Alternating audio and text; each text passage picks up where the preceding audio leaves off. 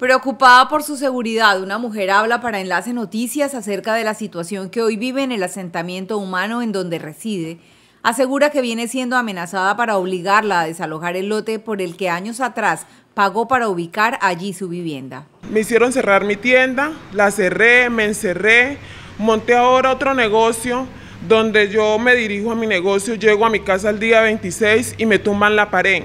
O sea, yo no puedo ni vender ni vivir en el lote, supuestamente es la orden de los búcaros, ¿sí? Que yo no puedo ni vivir ni vender. Entonces no me parece, o sea, si ellos no quieren que yo esté ahí, que me dejen recuperar la plata que yo les di por el lote y la plata que yo invertí, porque ya yo hice mis columnas porque yo estoy haciendo casa para dos pisos.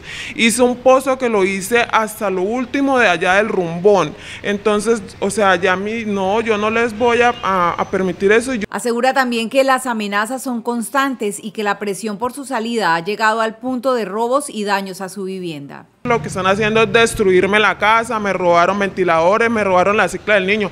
Tan descarados que hasta calzones utilizados se llevaron. Yo les pagué 3 millones al gordo, ¿sí?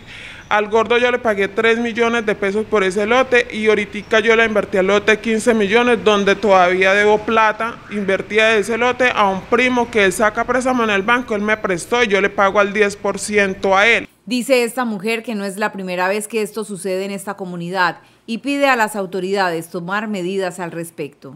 Y en estos momentos hay muchas personas más que también están siendo víctimas. A muchas les pasó y yo pensaba que supuestamente era verdad como ellos decían que era sapos. Y ¿Cuántas familias? Ya han sacado 15 familias de esta misma manera prácticamente creo que todos ya han denunciado y hay otros que no han denunciado por miedo porque pues uno le da miedo supuestamente y a mí la montadera me daba miedo de que supuestamente a que me iban a matar nos sacan con, con armas. Entonces yo le hago el llamado al Estado y a los derechos humanos por mi vida y por la vida de mis hijos. De esta manera, esta ciudadana advierte a las autoridades de su caso y se niega a abandonar el terreno en donde decidió vivir.